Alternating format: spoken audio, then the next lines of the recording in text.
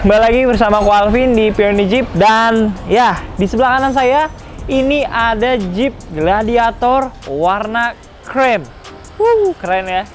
Ini tipe Rubicon dan kalau kalian udah mantengin Instagram kita nih, kita udah post si Jeep Gladiator ini.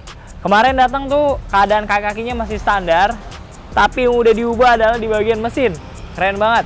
Dia pakai supercharge dari Magnusson yang kalau aku tanya omnya tuh kemarin ini dari 270 horsepower itu berubah menjadi 440 bertambah guys.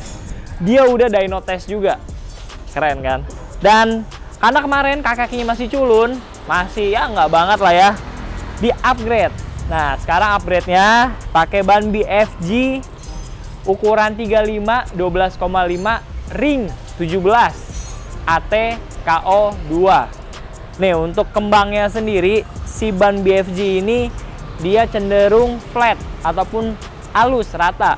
Tapi di bagian sampingnya ada juga nih kembang-kembang tipis. Jadi kalau di US emang dipakainya nih buat rock crawling ya, favorit banget. Kalau buat on road nggak usah ditanya, ini udah paten banget guys. Jadi ini dipakai di jalan Indonesia juga udah enak banget buat harian.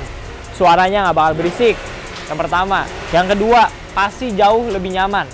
Dan untuk velgnya nih, kita upgrade pakai dari Teraflex Nomad. Yang ini spesial karena sudah ada sistem yang namanya air wheels.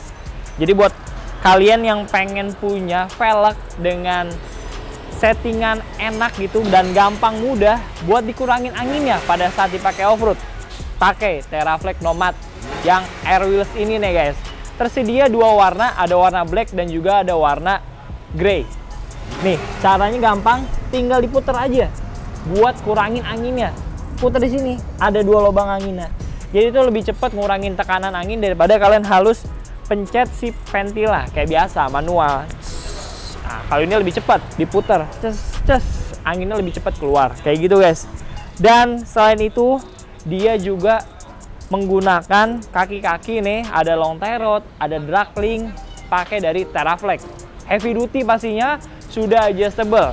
Nah itu si Om udah bener banget untuk konsep modifikasinya, dia nggak salah karena dia harus mensupport supercharge yang sudah diinstal di sini.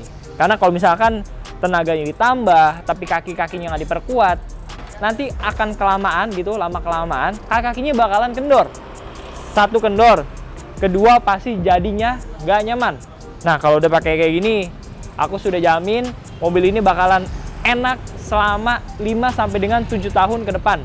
Karena sudah pakai heavy duty dari Teraflex. Dan biar setirnya lebih stabil, dan lebih enak lagi. Xiaomi juga upgrade guys. Dia pakai Falcon Nexus F22. Ada tiga setelan, ada firm, terus yang tengah tuh ada medium, yang pertama tuh ada soft. Jadi kalau soft lembut, medium itu tengah-tengah rata-rata, foam itu dia cenderung agak keras untuk seatnya. Kayak gitu guys.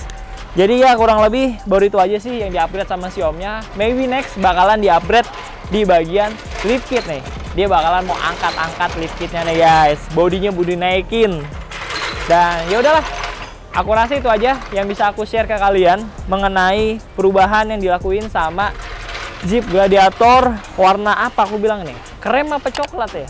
Ya pokoknya ini tipenya Rubicon sudah pakai speknya mantap pakai supercharge Magnuson kaki Teraflex semua terus ban BFG velg juga Teraflex Nomad dan yaudah sampai jumpa di video berikutnya mungkin buat kalian yang pengen tanya-tanya atau konsultasi mengenai modifikasi mobil Jeep langsung aja ke Ruko Cempaka Mas Blok A nomor 32 atau nih kalian WhatsApp aja sudah centang hijau di 0822 11 101 101 dan yaudah sampai jumpa di video berikutnya saya Alvin dan Andre yang bertugas mengucapkan terima kasih sudah nonton video ini dari awal sampai akhir.